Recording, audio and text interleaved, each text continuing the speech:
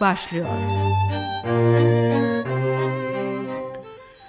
İyi akşamlar. İstanbul'a hoş geldiniz değerli dinleyenler. Program yapımcımız Muhammed Ersin Toy, teknik yönetmenimiz Salih Yılmaz, ben Süha Uner. Hepinizi saygıyla selamlıyoruz.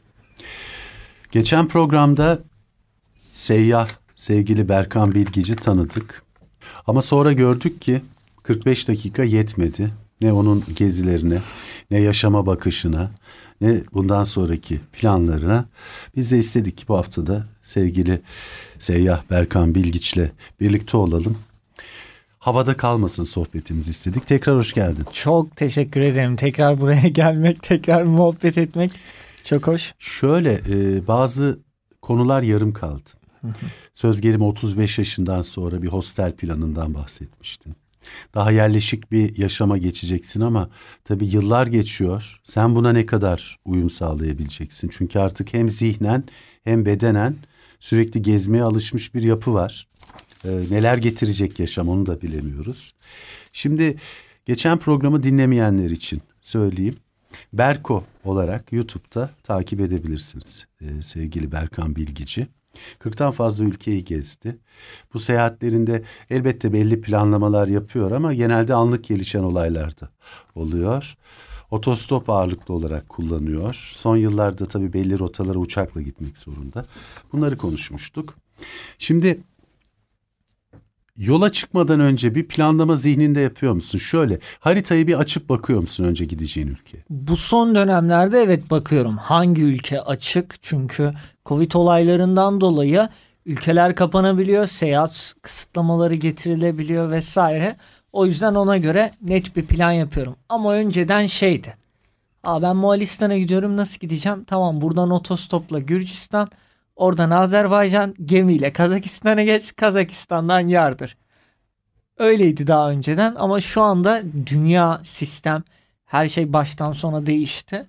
O yüzden planlayarak gezileri artık çıkıyorum. Peki senin gibi tabii e, senin gibi olması pek kolay değil. Çünkü süreli geziler de var sende. İşte okulu var, işi var insanların ama yola çıkmak isteyenlere e, önemli bir deneyim 40'tan fazla ülke. Orada karşılaşacakları olaylara dair hazırlıklara ne bileyim e, belli popüler rotalar var. Ama gidince çok da e, popüler olmasına rağmen e, gidilecek bir rota olmadığını görüyoruz. Ben de yaşadım bunu geçmişte. Neler önerirsin? O ülkeyle ilgili nasıl bir hazırlık yapsınlar? Nelere hazırlansınlar? Ya bence biz gezmek ya da yurt dışı dediğimizde direkt akla şey geliyor. İşte Avrupa'ya gitmek geliyor. Herkesin gözünde canlanan. Aa işte Paris'e gideyim, işte Almanya'ya gideyim. Ne yapacaksın Almanya'ya gidip akrabaları ziyaret ediyorsun. Abi bence bu bir gezi değil sadece.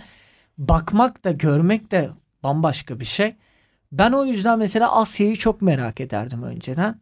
O yüzden e, hedefimde hep ilk şey vardı. Asya'ya gitmek var. Tamamen bambaşka bir kültür. İnsanların gözleri bile değişik, konuştukları diller değişik. Hepsi birbirinden farklı bir millet. Benim en büyük tavsiyem şu olacak. E, gideceğiniz yer tamamen Türkiye'den bambaşka bir yer olması ilk rotası. Gerçekten gezdiğini anlasın. Ya da şey bir ülkeye ilk indiğinde direkt gidip işte Türk restoranı bulmasın. Tavsiyelerimden biri.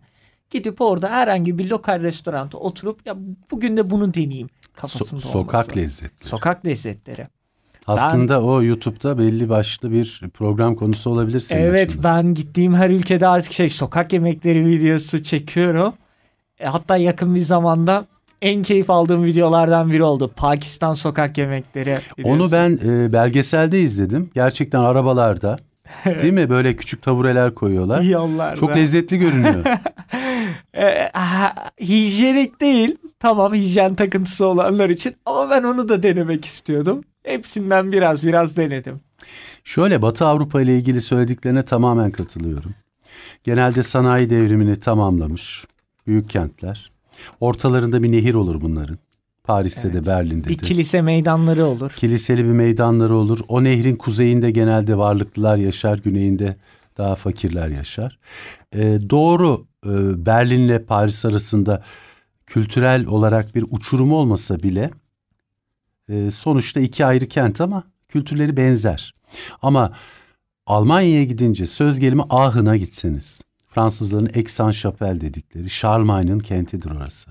Kutsal Roma Germen İmparatorluğu'nun başkentidir. Ne bileyim çok doğru söyledin. Münih'e ya da Berlin'e gideceğine Aachen'a git değil mi? Yani bambaşka bir kasabasına git. Ben belki de şey özgürce seyahat ettiğim için de öyle e, haritadan herhangi bir yer bulup aa tamam ben bu kasabaya gitmeliyim deyip oraya gidiyorum. Tabii sen burada e, yüzün Vakit. diye değil farklı bir örneksin. Daha marjinal. Yani sen haritayı açıp şurası deyip gidebilirsin ama insanlar planlamak zorunda. Kesinlikle. Çünkü benim zamanla ilgili bir kaygım yok. Onlara önerilerin neler? Biletle ilgili mesela ucuz bilet nasıl alınır? E, bu hep çok sorulan sorulardan biri. Abi varsa sorunun cevabını gerçekten bilen bana da söylesin. Ucuz bilet nasıl alınır? Ben biraz e, bulaştım bu işlere. En fazla böyle işte belki bir ay öncesinde falan alırsan bir de internetteki o geçmişini silmen gerekiyor. Eğer çünkü bir şeye bakıyorsan bir hafta sonra tekrar bakıyorsan ya da birkaç saat sonra fiyatı illaki artıyor. Yo ben 4 ay önceden alıyordum. Öyle mi? Evet planlıyordum. 4 ay önceden alıyordum ve e, Ankara İstanbul uçuşuna çok uçtum ben Paris'e, Lizbon'a, Berlin'e ama e, şimdi tabii öyle bir plan yapabilecek mi insanlar o da var. Kesinlikle eğer ki tatillerinin net tarih aralıkları belli ise o bilet bence alınıp ayarlanabilir. Ama biraz da biz de toplum olarak da aşırı garantici insanlarız. İşte şey diyoruz "Aa, belki o zamana kadar birine bir şey olur.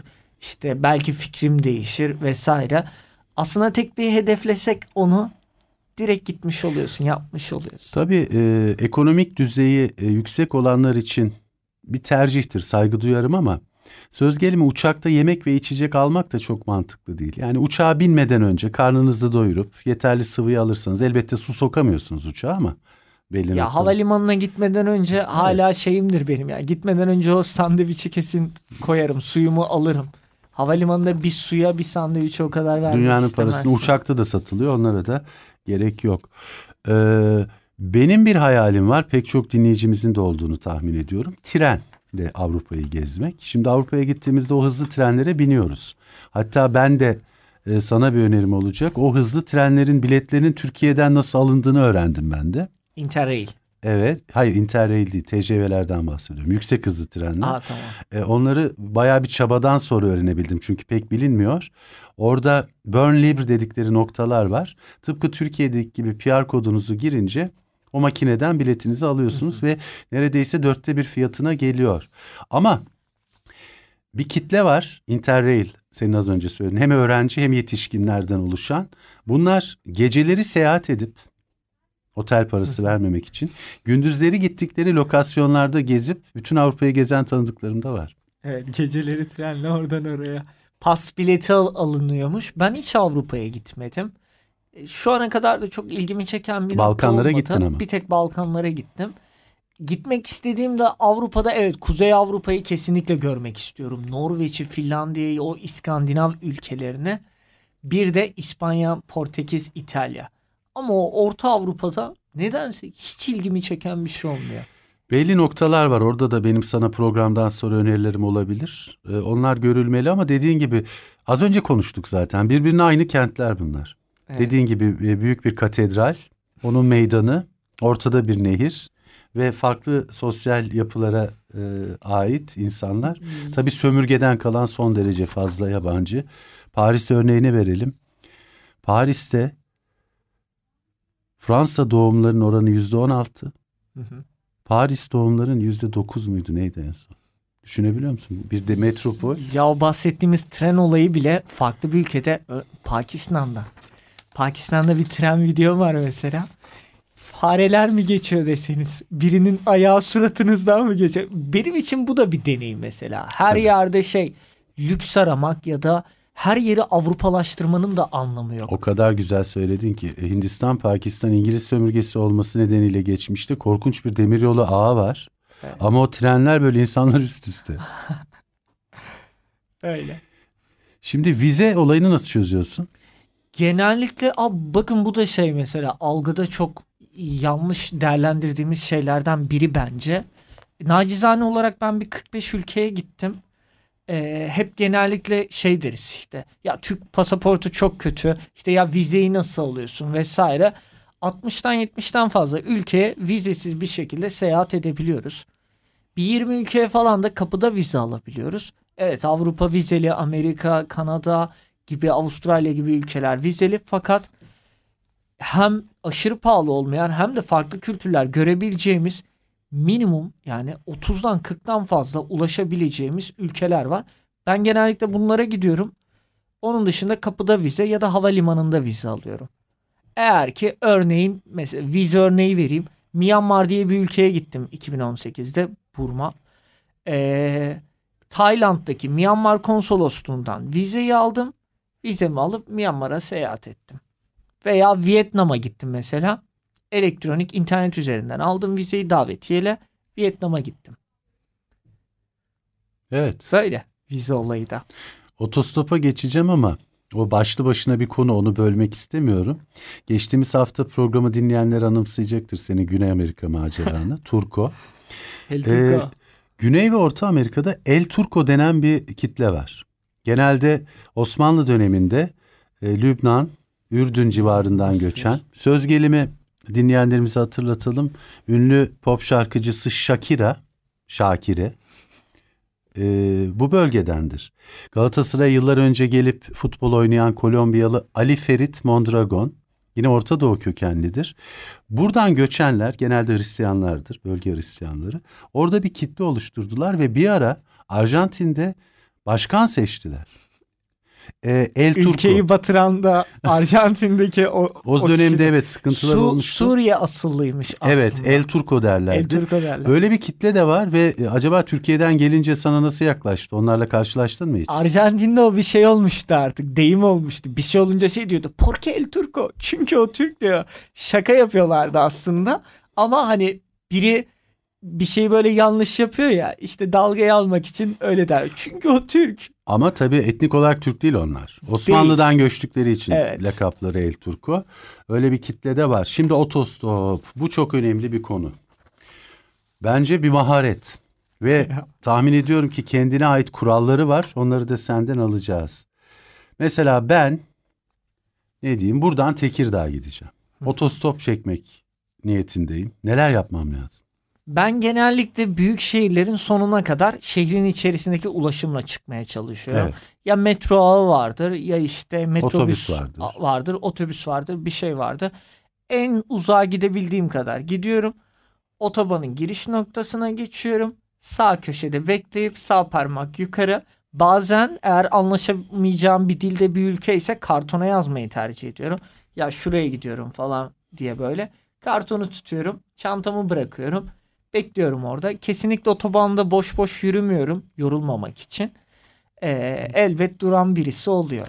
Peki Türkiye'de bir otostop kültürü var mı? Var. Çok büyük bir otostop kültürü var bence Türkiye'de ve çok basit. Dünyadaki en basit otostopun olduğu ülkelerden biri. Türkiye. Hani şöyle genelde e, kamyon sürücüsü bir abi durur ve onunla sohbet edersin. O şekilde mi oluyor yoksa Hepsi oluyor. Her şey mümkün. Kadın sürücüler de çok fazla alıyorlar. Çiftler de alıyorlar. Kamyoncular da alıyorlar. Yani hiç beklemediğiniz insanlarla tanışabiliyorsunuz otostopta. Berkan ben 51 yaşındayım. Otostopla hiç gitmedim bir yere. Ben Türkiye'de hemen hemen 50'den fazla şehir gezdim. Otostopla. Peki dünyada e, bu kültürün hakim olduğu ülkeler Asya mı, Güney e, Amerika mı yoksa bizim bu Kafkasya mı? Tayland'da inanılmaz hakimdi otostop. Çok basitti. İran'da da çok basit. Aynı şekilde Türkiye dışında. Ama benim için hala otostoptaki en basit ülke Türkiye'dir. Ya, parmağını kaldırıyorsun ve 2-3 dakika içerisinde direkt duruyorlar. Kimse mesela Türkiye'de bugüne kadar bana şey sormadı. Para sormadı. Her ülkede illaki sordular. Ama Türkiye'de hiç kimse hala sormadı. Yardımsever milletiz. Yardımsever bir milletiz kesinlikle. Peki yaşadığın ilginç bir otostop deneyimi var mı bizimle ve dinleyenlerimizle paylaşabileceğin? Elbette radyo mikrofonlarında anlatılabilecek bir deneyim. Tamam. Ee, düşünelim bakalım ne olmuştu. Aa, yakın bir zamanda. Gerçi o tam otostop denilemez ya. Ee, Tayland'ı anlatayım. Yani. Tayland'da otostop çektiğim bir kelime bile doğru düzgün anlaşamadığım adamla bir hafta boyunca ailesiyle birlikte pirinç tarlasında çalışıp yanlarında kalmıştım. yakın bir zamandaki örneklerden biri Ürdün'de ona otostop çekmek denilemez aslında. Ya otostop çektiğim e, Vadi Rum bölgesine giderken otostop çektiğim adam alıyor evine götürüyor. Onunla birlikte kalıyoruz vesaire. İşte diyor ki ben de diyor bu turları yapıyorum. Vadi Rum'da gezdiriyorum jipimle vesaire. Size güzel bir fiyat vereyim. İşte ben de kazanmış olayım. Siz de rahat rahat gezmiş olun. Çıkartıyor bizi. Vadi Rum'da birlikte geziyoruz. Tam böyle dönecekken diyoruz ki bizi götürme köye. Biz burada çölün ortasında ineceğiz. Arabadan iniyoruz. 10-15 dakika çölün ortasında yürümeye başlıyoruz. Adamın biri bizi görüp geliyor. Kornasına basıyor. Diyor ki gelip benim çadırımda bir çay içer misiniz diye. ismi Salim. Daha birkaç hafta önce 3 gün boyunca Ürdün'de Bedevi Salim çölde doğmuş Suudi Arabistan sınırlarında. 3 gün boyunca Salim'le birlikte çölün ortasında çadırında yaşadık. Ya çölün ortasında gidip çocuklarla top oynamak inanılmaz bir deneyimdi. Sabahın körü her yer kıpkızıl Mars'ta filmi mesela orada çekildi. İşte Arabistanlı Lawrence filmi orada çekildi. O çölde gerçek bir bedeviyle kalıyorsun. Ateş yakıyorsun. Sabah kalkıp çocuklarla top oynuyorsun çıplak ayakla. Kıpkızıl bir yerde. Tabii Arap deyince bizim zihnimizde bir etnik yapı canlanıyor ama çöl Arapları Bedevilerle yerleşik medeni Araplar arasında e, büyük bir uçurum var. Kesinlikle. Kültürleri de çok ya farklı. bence ben Arap ülkelerini çok çok fazla gezmedim. Irak'a gittim sadece. Ee, Katar'a gittim ve Ürdün'e gittim. Baştan sona mesela hepsinin içerisindeki bir ülkedeki bile farklı farklı. Bedevi bambaşka yaşıyor. Şehir merkezinde yaşayan bambaşka yaşıyor. Kasabada yaşayan bambaşka yaşıyor. Kültürel olarak da sanki birbirlerinden farklılar. Ee, etnik olarak aynı ama kültür farklı Evet. tabii. Sonuçta bir kitle göçebe. Kesinlikle. Şimdi geçen hafta Machu Picchu'yu konuşurken Petra'dan söz etmiştin. Ürdün'e gelmişken Petra'yı konuşalım. Büyülü bir yer değil mi Petra? Güzel bir yerde Petra. Gördüğüm, gezerken gördüğüm en güzel yerlerden biriydi. Zaten dünyanın en yeni yedi harikasından birisi Petra. Petra'ya da bizim için maalesef ki işte dolar kuru çok yüksek. Gezerken bu çok zor bir şey.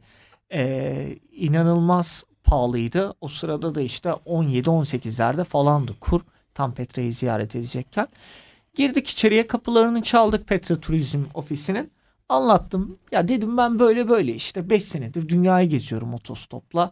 E, Buradan buraya seyahat ediyorum. Bu ülkelere gittim vesaire. Şu an burası benim için çok pahalı. Ee, işte bir işbirliği yapabilme şansımız var mı diye anlattım. Çok sevdiler. Aa, Türkiye'den geliyorsunuz vesaire diye misafir ettiler, gezdirdiler orada. Petra'yı gördüm böylelikle. Böyle bir gezi oldu. Bazen de otostopla gezmenin ve sürekli insanlarla konuşmanın getirdiği olay bu. Hani sadece turist gibi işte ah hemen burada bunu ödemeliyim böyle kalmalıyım değil de çoğu zaman mesela hiç para harcamadığım zamanlar da oluyor. Böyle. Petra'ya giriş ücreti peki ne kadar normalde? 65 dinar da o da sanırım 80 euro falan yapıyordu. Ee, hayli para. Evet 1000, 1300 1500 lira falan. Gerçi hak eder Petra. Kesinlikle hak eder. Bir harika çünkü. Evet. Şimdi Irak'a gittim dedin az önce. Tehlikeli miydi? Korktun mu? Ee, ya da gözlemlediğin tehlikeler var mıydı senin başına gelmesi de? Bize biraz Irak'ı anlatır mısın? Ben Irak'ta Kürt bölgesini gezdim. Kürt bölgesel Onu bilmeyen dinleyenlerimize gezdim. söyleyelim. Irak'ın e, Türkiye Cumhuriyeti toprak bütünlüğünü sağlamaya devam ediyor e, değerli dinleyenler ve onu desteklemeye. Ama fiilen ülke üçe bölünmüş durumda. evet. E, güneyde e, Bağdat yönetimi var. güneyde bir yönetim var. E, Şiilerin hakim olduğu bir Bağdat yönetimi var. Kuzeyde de e, ağırlıklı olarak Kürtlerin olduğu bir bölge var. Evet. Ee, orası da mesela yanlış bilinen yerlerden birisi. Ee, yani değerli dinleyenlere de anlatalım. Ee, o bölgede mesela Kürt bölgesel yönetiminde o kısımda Türkiye Cumhuriyeti Devleti'nin e, devletimizin orada iki tane konsolosluğu var. Evet. Birçok Türkiye'de bildiğimiz büyük markalar Erbil orada ve var. Süleymaniye'de. Erbil'de, Süleymaniye'de. Güvenlik açısından ben bir sorun, bir sıkıntı hissetmedim. Bu arada orada Türkmenler var Türkmenler ki var. 1071'de biz resmen Anadolu'ya girdik daha önce aslında ama resmi tarih olarak onu kabul ediyoruz. Çok daha öncesinden gelen özellikle geçen hafta konuştuğumuz İsfahan Şiraz üzerinden Selçuklu döneminde gelen Türkmenler var ve e, yıllardır orada yaşarlar yüzyıllardır. Kesinlikle öyle. Erbil Kalesi'nin ve etrafındaki Kayseri Çarşısı'nın içi tamamen esnaf Türkmendir mesela. Neredeyse. Çok güzel karşılandım. Türkmeni, Kürdü, Arabı, o, o bölgede Türkiye'den gidip yerleşen Türk insanları e, herkes çok güzel karşıladı. E, bir sorun, bir sıkıntı yaşamadım. E, Gezimden de çok büyük keyif aldım. Bağdat'a ve güneye indin mi? Bağdat'a aşağıya inemedim çünkü buradaki hani bahsettiğiniz o farklı yönetimler var ya tam da aslında buraya geliyor. Mesela Bağdat'a o bölgelere gitmek için vize istiyor sizden. Ama o diğer özerk bölgeye giriş mesela vizesiz. Bunu iyi ki anlattın. Tam anlaşılması için. Evet biz Yani özetle bu. Türkiye Cumhuriyeti olarak Irak'ın toprak bütünlüğünden yanayız. Kesinlikle. Ama ülke içinde bir bölgeden bir bölgeye geçmek için o bölgenin yönetimi vize istiyor. Kesinlikle. Ya bu dünyanın farklı yerlerinde de var böyle. Ee, mesela Özbekistan'da Karakalpakistan diye Özerk Cumhuriyeti diye bir yer var. Ya da Kırgızistan'ın içerisinde Özbeklerin toprakları var. işte Kırgızların toprakları var. Mesela Gürcistan dediğimiz yer Batum Özerk Cumhuriyeti orası normalde. Ajara'ya bağlı. İşte kendi bölgesel bayrağı vesaire var. O tamamen o ülkenin yönetimiyle alakalı. Ossetya ayrı. Aynen. Orası da Ee, özel galiba. Evet. Ya mesela yanlış bilinen şeylerden biri de o. O bölge için vize istemiyor ama aşağısı için vize istiyordu. Böyle bir gezi oldu Irak'ta. Çok keyif aldım. Türk olduğum için de herkes inanılmaz misafirperverdi. E hem komşu hem e, bin yıldır beraberiz. Kesinlikle benim videolarımda da tam olarak öyle söylüyor adam. Şey diyor mesela e diyor biz Osmanlı'dan beridir ne söyleyebilirim ki kardeşiz zaten. Bin yıldır beraberiz. İngilizlerin çizdiği sınırlar. Aynen öyle. Neyse o başka bir programın konusu. Çadırı konuşalım. Çadır işi de ilginç. Şimdi bir hazırlığı var ama bir bölge seçeceksiniz önce değil mi çadır kurmak için? Yani ateş yakmaya uygun olacak, su kaynağı olacak, ne bileyim güvenli olacak. Biraz anlatsana çadır işini. Ya eğer yolda herhangi bir yerde kalıyorsam onun için artık su kaynağı veya ateş tamamen önemsiz oluyor. Şey gibi çölde mesela. Çölde kaldığım çok oldu benim. Çadırda. çadırda. Yol ayrımı bir noktada kalıyorum. Adam sol tarafa doğru devam ediyor. Diyor ki 80 kilometre ötedeki ben kasabaya devam edeceğim. Benim de önümde atıyorum mesela 1000 kilometre bir yol var. Bekliyorum orada araba gelmiyor. Mecburen çantamdaki tulumumu çadırımı çıkarıp kurup orada o geceyi geçiriyorum. Araba gelene kadar ertesi gün. Veya bazen de mesela çok güzel bir manzaraya kuruluyor çadırım. Yani dünyanın herhangi bir yerinde benim evimi kurmam mümkün. Kira ödemiyorum. Peki çadır e, biraz kaliteli bir çadır herhalde. İyi bir çadır. Eskiden çok ağır bir çadırım vardı. Zamanla olan işte basamaklardan biri de bu. İlk başta çok ağır bir çadırım vardı. Ucuz bir çadırım vardı. Daha sonradan daha iyi bir ekipman aldım. Daha hafif ve daha kullanışlı. Şimdi onu kullanıyorum. Bir kilo civarında bir şey. Hemen pat diye kuruyorum. Burası benim evim. Yatıyorum içinde. Ne güzel. Ve yemek. Yemek. Sokak yemeklerini kısmen konuştuk. Ama devam edelim. Şimdi bir ülkenin mutfağının e, çok renkli, kaliteli olması aslında geçmişte yemek ve yiyecek bulmakta çektiği güçlüklerle birebir orantılıdır.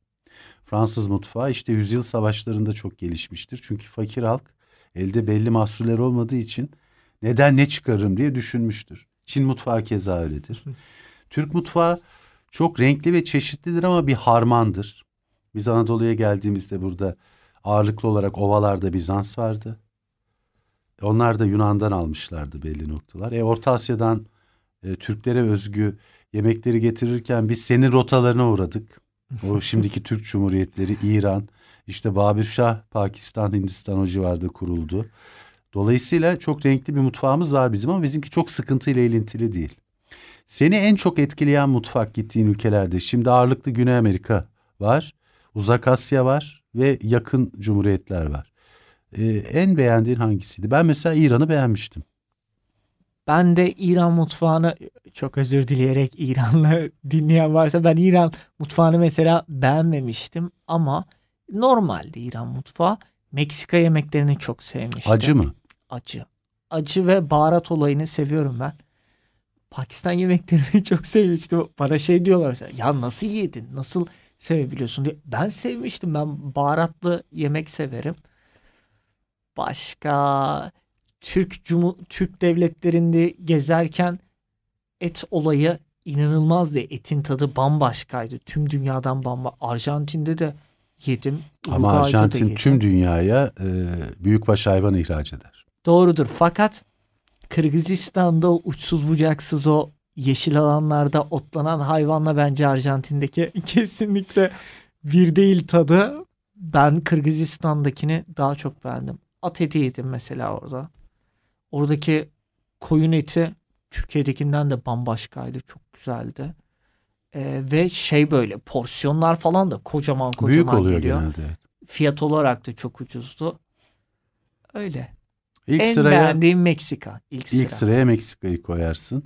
E, taco var orada. Bizim dürüme benzer. Burritoslar var. O Bizim nedir? dürüm- Şey aslında bizim e, dürüm dönerin işte çok fazla peynirli bir sosa batırıp işte ekmeği kızarttıkları bir nevi döner. Bir nevi dürüm döner diyebiliriz. Ama aşırı peynirli. İran'da da şöyle bir şey var. E, Nachos Bizim ül- var. ülkemiz için lüks e, kabul edilebilecek safran gibi maddeler günlük yaşamda kullanıyor. Çok ucuz. Hatta ben dostlarıma hediye safran getirmiştim İran'da. Evet. İran'da. Demişlerdi ki bir servet ödedim buna. Yok 2 dolar ödedim demiştim. Yani, e, safran tabii büyülü bir lezzet katıyor yemekler ama İran'da çok pilav var. Benim İran'da en çok sevdiğim şey çaydı. Hmm. Çayın Çay kültürü tadı var. bambaşkaydı. Çok güzeldi. Tabii dünyanın en iyi çayı hala bizde demleniyor bence. Demleme kısmı olabilir ama en iyi çay Sri Lanka'dan çıkıyor ve İran çayı çok güzeldi. Ee, uzak Asya'da tabii çay kültürü var onu biraz konuş. Sen Çin'e gittin mi hiç? Ben Hong Kong'a gittim sadece. Hong Kong'a Çin'in gittin. içine girmedim. Ee, nasıl orada bir çay kültürü? Bizden daha farklı. Onlar hemen Yeşil demler çay. demlemez içiyorlar ve yeşil çay içiyorlar. Ağırlıklı ya su gibi bir açık bir yeşil çay içiyorlar. Hatta bizim çok demlediğimizi düşünüyorlar. Hı hı. Ee, üç dakikadan fazla tutmuyorlar zaten. Hemen içiyorlar. Evet. Bizde böyle kaynar ya. Şey söylemişlerdi bana vücuttaki demiri alıyormuş çay. Şimdi çay temelde antioksidan. Dolayısıyla uygarlıkların tamamında olma nedeni var ama tabii fazlası alır mı demiri bilmiyorum. Ama yemeklerden hemen sonra içilmesi pek önerilmez hekimler tarafından onu da söyleyeyim. Ben bir de ye- yeşil çayı da çok severim bu arada. Siyah çaydan daha çok yeşil çay severim. Daha sağlıklı zaten. Şimdi İngilizce çok iyi değildi geçen hafta söylemiştin. Sonra geze geze gelişti. İspanyolca çok farklı tabii. Daha Latin. Ee, nasıl öğrendin İspanyolcayı? Böyle sokaklarda mı öğrendin açıkçası? Bir sene Latin Amerika'da kalınca, uzun bir süre kalınca ya benim temel olayım zaten hani işte tatile çıkmış 2-3 ay tatilindeki bir üniversite genci değilim. Ne bileyim işinden 20 gün planlamış tatildeki bir insan değilim. Sadece gezme odaklı gezeyim. E, Çıkıyorum geri dönüş olmayan bir biletle. E, Bir sene kaldım bir de. E, Bir senede kalınca bir şekilde sokakta sürekli çalışıyorsun. E, Venezuelalı bir kız arkadaşım vardı. İki buçuk ay Ekvador'da bir aileyle birlikte yaşadım. Dört ay Peru'da kaldım. Yaptığım o tüm işlerle günlük konuşma artık şeye dönmeye başlıyor. Aa, bu kelimeyi öğreneyim, şunu öğreneyimden. Öyle İspanyolca öğrendim. Şimdi ben e, filoloji ve dil bilim okudum. Şunun için söyledim bunu.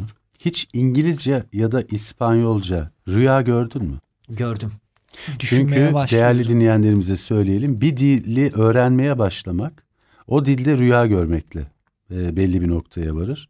Çünkü artık alt beyin değil mi? Otomatikman o dile kanalize olmuş. Onu özümsemiş demektir. Evet tepkilerim bile şey bazı şeyleri böyle İspanyolca düşünme şeye geldi artık yani telefondaki klavye İspanyolca. Ben İspanyolca yazıyorum ya. İspanyolca mesaj atıyorum. Ne yapıyorum ben dediğime bakın. Çünkü okumadım hayatımda.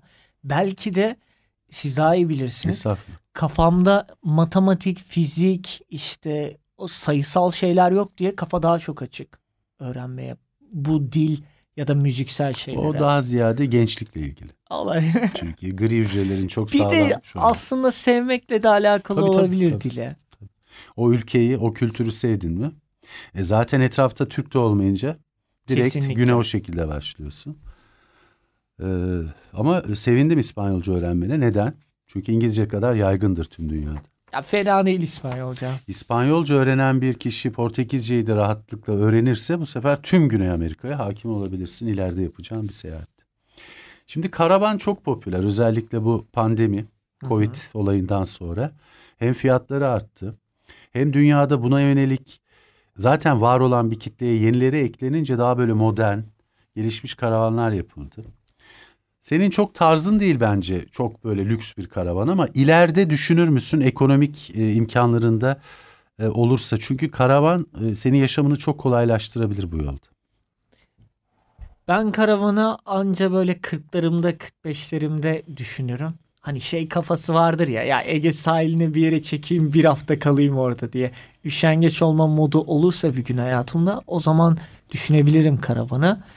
Ee, fakat lüks bir karavan istemiyorum. Bir çok yakın bir arkadaşımın Volkswagen T2'si var. Ambulansmış ilk başta çıktığında. Ee, 50 yaşında bir karavan. Bildiğin hurdadan alıp baştan sona düzeltip şu anda işte mandiliniz diye bir karavan yapıp yollarda sokaklarda olan bir karavan ve çok güzel yapmış. Öyle bir şey isterim yapmak istersen. Klasik bir karavan. Klasik karavandan yanasın sen. Evet Zaten e, o yolculuğa çok da lüks gerekmez bence. kesinlikle. Yok mikrodalga fırınlar, bir buzdolabı Yok belki. ya ben çok abartıldığını düşünüyorum. Biz genel olarak e, gezmek ya da bir iş yapmak istediğimizde hep şey kafasındayız. En iyisini alalım. Bunun da bu özelliği varmış. Aa işte bu yağmur Yo geçirmiyormuş. Amerikalılar da öyle. Orada bir karavanlar var. Vesaire. Görmüşsündür. Ee, ama e, çok haklısın. Kervan yolda düzülür ya. Söz gelimi bir karavanda uydu sistemi ve televizyon olması çok mantıklı değil. Bence de. Çamaşır makinesi olması da bence mantıklı Evet, değil. gittiğiniz bölgelerdeki karavan parkları var, yıkayabilirsiniz. Ama şöyle bir durum var tabii. O meşhur Rus rotası vardır ya bu Karadeniz kıyısından başlayıp ta Sibirya'ya kadar belli noktalar. Onda daha gelişmiş bir karavana ihtiyaç duyabilir. Isıtıcı önemli olabilir karavanda. Mutfak kısmı önemli olabilir. Ve bence en önemlisi konfor yatak. O ve e, tabii arabanın kalitesi. Arabanın kalitesi tabii ki. Bahsettiğim klasik bir karavanla mesela bu rotalara çıkmak çok zorla. Çok yolda bırakır. İşte o rotalarda da geçen hafta konuştuğumuz gece e, yataklı ya da normal vagonda yolculuk edip gündüz bölgeyi gezmek, tren yolculuğu çok mantıklı olabilir. E, çünkü sanayi altyapısını tamamlamış ülkelerde trenler çok kaliteli. Ve sadece hızlı tren değil, normal trenler de hızlı. Intercity dedikleri batılıların. Onlar bir çözüm olabilir özellikle genç öğrenci arkadaşlar için. Şimdi Yolda çalışmak bu başlı başına bir konu. Değerli dinleyenler Berkan pirinç tarlasında da çalışmış. Güney Amerika'da da belli işler yapmış. Köpek gezdirmiş ki uzak Asya'da belli ki gelir getiren bir iş o. e, iş nasıl buluyorsun? Anlık mı gelişiyor da? İlk işte bileklik satma, sokakta müzik yapma evresiyle başladı. Geçen hafta da anlatmıştım. Sokaktaysanız eğer e, bir yabancısınız insanların dikkatini çekiyorsunuz. Bu defa senin işe ihtiyacın olduğunu biliyor. Aa bak burada da bu iş var olayıyla başlıyor ve devam ediyor ve utangaçlık da yok. Giriyordum mesela barlara soruyordum. Diyordum ki işte çalışmak istiyorum burada vesaire. Garsonluk yapmak istiyorum diye. Ee, kazandığım paralardan biri de bu mesela. Köpek gezdirme olayı daha önceden hostellerde de çalışıyordum. Hostel dediğimiz olay sırt çantasıyla ucuza konaklama yaptığınız işte 6-7 kişinin e, bir odada kaldığı backpackerların, sırt çantalıların konakladığı yerdir. Ben orada gönüllü olarak çalışıyordum. Kalma karşılığında ve yemek karşılığında. O sırada da hostelin köpeğini gezdiriyordum mesela. Sonra oradaki çevredeki insanlardan teklif gelmeye başladı. Bir baktım 7-8 tane köpek olmuş. Ben bunları her sabah ve akşam yürüyüşe çıkarıyorum ve iyi de bir para kazanıyorum. En sevmediğin ülke hangisi? Hong Kong. Hong Kong. En sevdiğin Endonezya. Endonezya. En ucuz En ucuz ülke hmm, İran. İran. En pahalı Güney Kore. Doğru. Peki 35 yaş sonrası için soruyorum. Senin ifaden. Burada yaşarım dediğin ülke. Endonezya. İlk Endonezya olurdu. Neden? İnsanlar çok güler yüzlü. Ben bir de şey short terlik adamıyım. Böyle yazı çok severim. Orası Psikolojikmen beni çok tropikal. mutlu ediyor. Kesinlikle. Ve şey sokaklarda böyle kedi köpek dolaşır gibi maymun dolaşıyor. Bu da güzel bir olay benim için. Ee, ucuz da bir ülke, uygun da bir ülke ve fiyatlar da değişmiyor. Çok gariptir ki. Endonezya olurdu. Peki kültürel olarak en ilginç bulduğun ülke neresi? Peru. Peru evet. Peru görülmeli. Bambaşka bir ülke. Benim vaktim de azaldı. Başından sonuna kadar. Ama Kesinlikle. işte seyahati kolay değil Peru'nun. Transatlantik yani okyanus geçmek lazım. Asla yaşamam dediğin ülke neresi? Singapur. Neden? Asla yaşamam. Çok küçük. Kaos. İnsanlar tamamen robotik. Ee, hiçbir şey yapmazdım Singapur'da. Hiçbir şey yapamazsınız da zaten. Aşırı kuralcılar. Şey bile ben Singapur'da bir videom var yayından sonra gösteririm. Singapur'da ilk gittiğim zaman da inanılmaz bir muson yağıyordu. Her şeyimi bıraktım, ayakkabılarımı çıkarttım.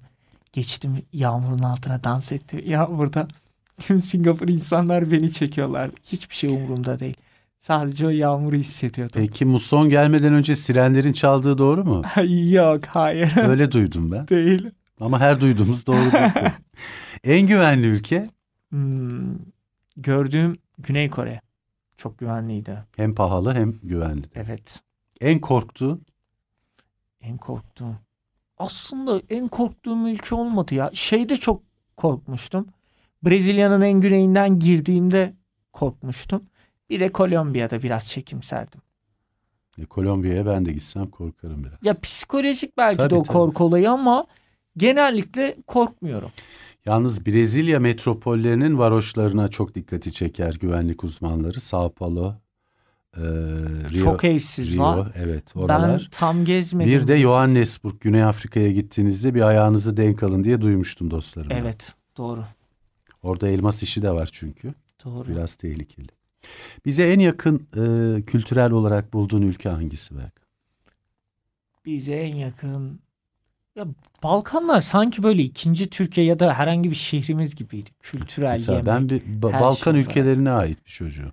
Yani Öyle 100 yıl olmamış geleli doğru. E, çünkü çok uzun yıllar birlikteydik. Oradaki büyük bir kitle de Anadolu'dan göçmüştür. Peki Rotan'da neresi var şu anda? Gelecek rotamda Nahçıvan var, Azerbaycan var. Bunun dışında e, Moğolistan'a gitmek istiyorum. Eğer yaza doğru açılırsa Moğolistan olacak. Niye açılırsa? Çünkü bu Covid olaylarından dolayı kapalı. Kapalı. Kapalı. Giriş mümkün değil şu anda. Ve son soru. Şimdi YouTuber olmak pek çok gencin hayali. Artık Türkçe'ye de girdi bu kelime. Geliri de fena değil belli bir noktaya gelirseniz. Sen seyyah olarak başladın bu yola. Artık bir YouTuber'sın ama kendini nasıl tanımlıyorsun şu anda? Ben hala kendimi evsiz Berk olarak tanımlıyorum. Homeless diyorum. Bu dünyaya bu dünyaya hem ait hem de bu dünyadan olmayan bir insan. Bu YouTube dediğimiz YouTuber dediğimiz olay da aslında benim tanımımda seyahat eden bir gencin karaladığı, çizdiği, kamerasına konuştuğu bir platform. Böyle tanımlıyorum. Beni kategorize etme diyorsun. çok teşekkür ederiz. Ben çok teşekkür ederim. İlk program yetmemişti bu hafta da geldiğin için. Ayrıca teşekkür ederiz. Ee, bundan sonraki rotaları tamamlayınca yine seni stüdyomuzda ağırlayıp deneyimlerini, izlenimlerini almak isteriz senden. Umarım. Ama bir süre İstanbul'dasın galiba. Evet şu aralar birazcık İstanbul'dayım. Hem dinleniyorum bu evrede hem de gelecek rotalar için plan yapıyorum. İster istemez bazen karışabiliyor ülkeler işte Aa, burası kapandı burası açıldı diye. Yakın bir zamanda tekrar seyahate devam edeceğim. Ama naçizane bir öneri olarak gör. Haddimiz değil ama bu notları almayı unutma. Bir defter. Zaten küçük küçük notlar e, sana çok şey yazdıracaktır. Evet. Hatırlaman için Tamam. ya da teknolojinin imkanlarıyla da yapabilirsin. Tamam. Teşekkür ediyoruz tekrar. Ben de çok teşekkür Hoşça ederim. kal. Seyyah Berkan Bilgiç değerli dinleyenler. Berko olarak YouTube'a girerseniz oradan da onun gezilerine ait belli ipuçlarını, çektiklerini, anlattıklarını izleyebilirsiniz. Bu haftada vesairenin sonuna geldik. Program yapımcımız Muhammed Ersin Toy, teknik yönetmenimiz Salih Yılmaz, ben Süha Üner. Saygı ve selamlarımızı iletiyoruz.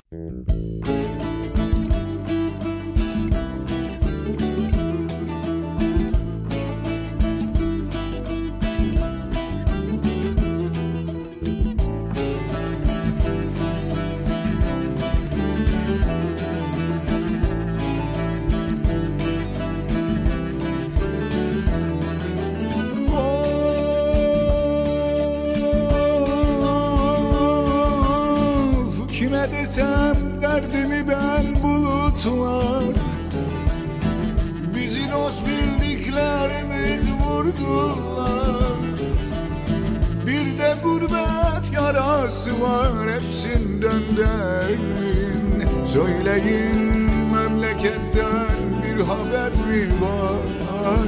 Yoksa yarın gözyaşları bu yağmurlar Söyleyin memleketten bir haber mi var Yoksa yarın gözyaşları bu yağmurlar İçerim yanıyor yar yar yaram pek derin Bana nazlı yardan aman bir haber verin.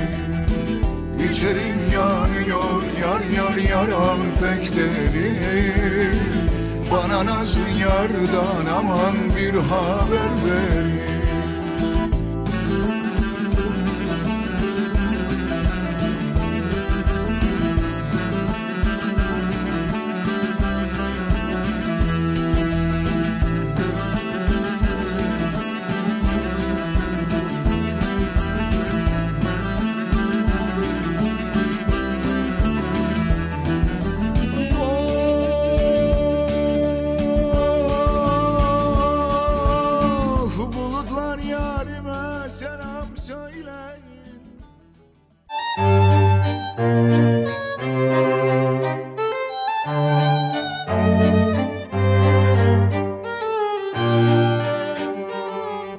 Vesair sona erdi.